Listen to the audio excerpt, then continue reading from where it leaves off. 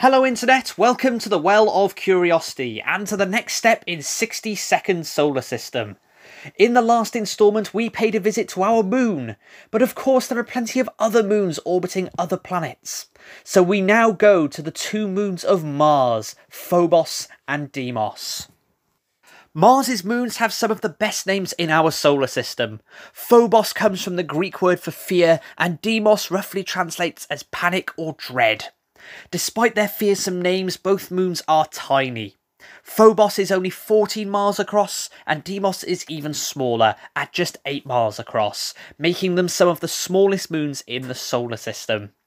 Both moons look nothing like our moon. They are quite irregular, lumpy looking objects and have been compared to potatoes in appearance. We aren't entirely certain how Mars gained its moons.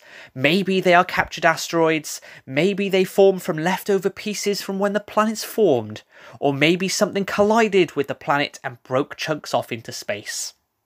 All we know for certain is that Phobos is moving very slowly towards Mars.